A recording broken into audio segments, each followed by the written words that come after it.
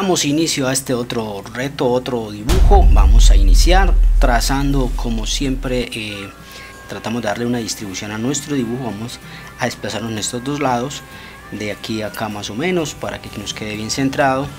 E iniciamos trazando el ojo, o bueno, más o menos lo que indica donde debería ir el ojo, que es como un lente. Eh, y vamos a ir eh, tratando de interpretar ese espacio esa forma. Bueno aquí desde aquí este tiene una característica que sale que se forma como una estrella. Entonces vamos a tener muy en cuenta desde dónde comienza cuántas puntas tiene todas esas cositas. Si las vamos solucionando pues nos puede dar eh, muy bien a la hora de el producto final que será la obra con nuestro eh, invitado la representación gráfica de este señor. Bueno comenzamos aquí vamos haciendo la punta de la línea tener en cuenta que este va en color blanco en la cual esta punta va un poquitico más corta que las otras puntas. Otra referencia que tenemos que tener en cuenta es que pasa por toda la esquina de eh, el ojo por decir así de nuestro personaje bueno y esta otra punta lógicamente es lápiz pero más adelante estaremos borrando. Bueno aquí empiezo a dibujar parte ya del cráneo. Para tener de referente voy a tratar de dibujar aquí parte del pómulo.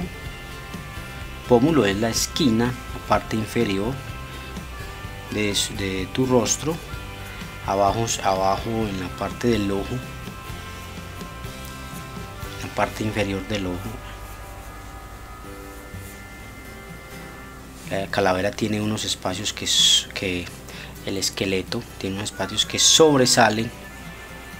Bueno, yo inicialmente voy a trazar la mm,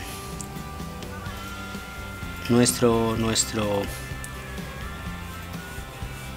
órbita de la de la de la calavera el esqueleto el cráneo que aquí hay una línea negra que va a quedar en blanco. La línea aquí viene negro negro hasta acá. Aquí una parte una grieta que se hunde. Y bueno acá calculamos más o menos un espacio prudente. Y aquí hacemos otra línea por ahí un promedio de 2 centímetros que va también ahí para luego trazar la del mentón la parte inferior pues luego de esto va una otra línea. Ahí está. Acá van a ver unos punticos. Tengan muy en cuenta. Y luego tiene cuatro puntos. Van intercaladitos por decir así en mitad y mitad. Este sale un poquito.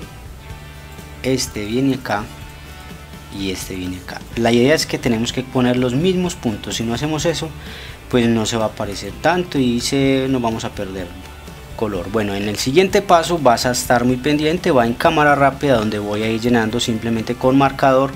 Aquí entran solamente participan dos colores el espacio blanco de la hoja el negro que va a ir cubriendo la mayor parte de la gráfica y un naranja que va aquí en este espacio. Entonces no siendo más manos a la obra y con el siguiente paso que es colorear